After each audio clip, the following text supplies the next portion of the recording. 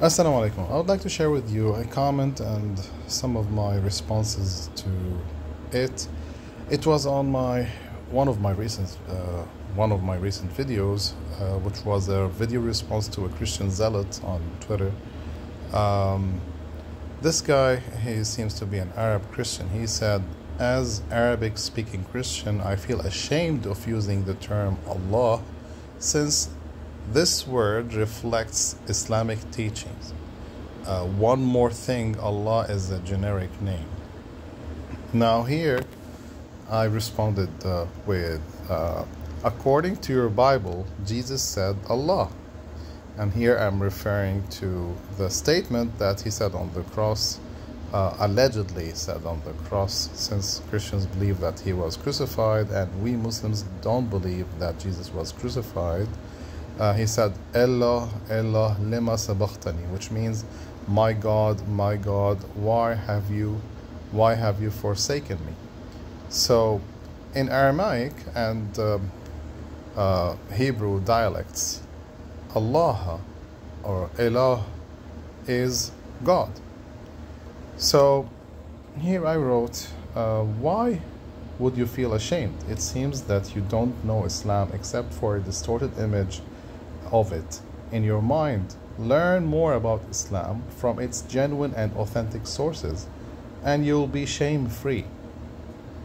And then I added this comment Why don't you feel ashamed of saying God in English?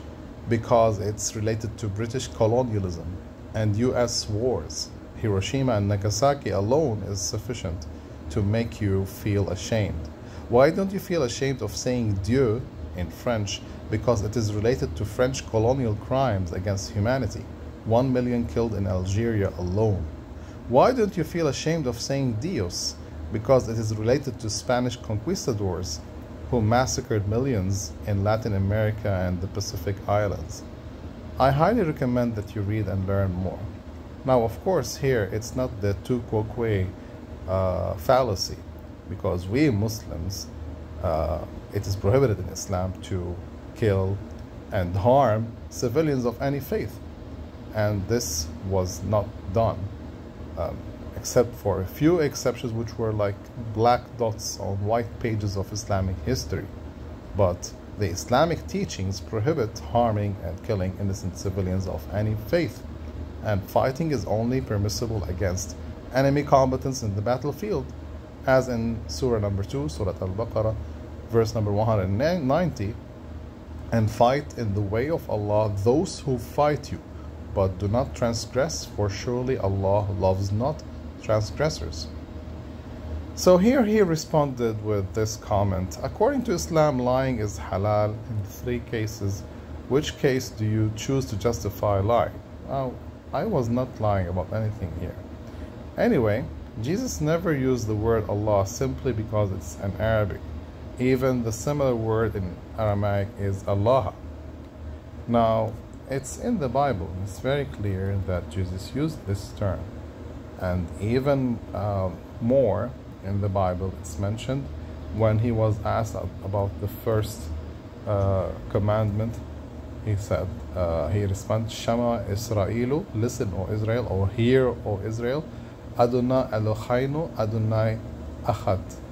Adonai means Lord. Our Lord, God, is, is one and only. So Eloheinu, Eloheinu, Eloh, Elohuna, our God. So he used the term Elah, which means God. And as I mentioned also, the uh, one about the crucifixion or the one the person was on the cross, Allah, Allah lima sabaqtani. My God, my God, why have you forsaken me? He didn't say my God, he said Allah. So the Aramaic Allah, yes, it's similar. Both are Semitic languages, both are dialects of Semitic languages.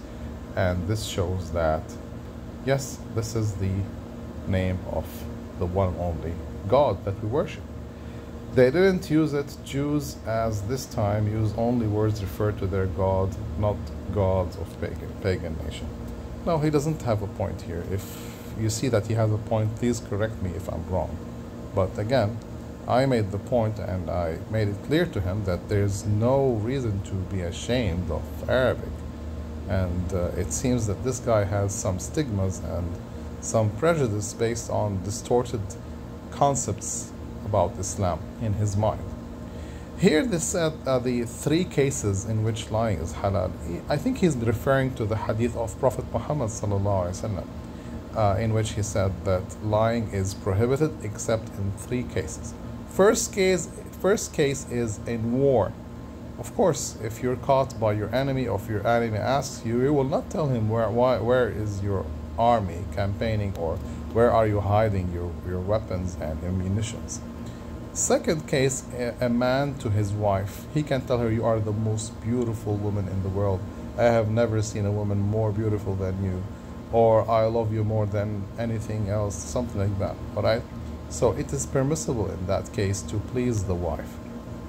Third case, which is when you reconcile between two uh, people, when two people are quarreling and uh, you know there's a quarrel between them or there's a, a, you know some kind of discord between two persons you can go to one of them and tell him, well, the other side or the other person wants to reconcile with you. He always speaks good about you. He thinks well of you.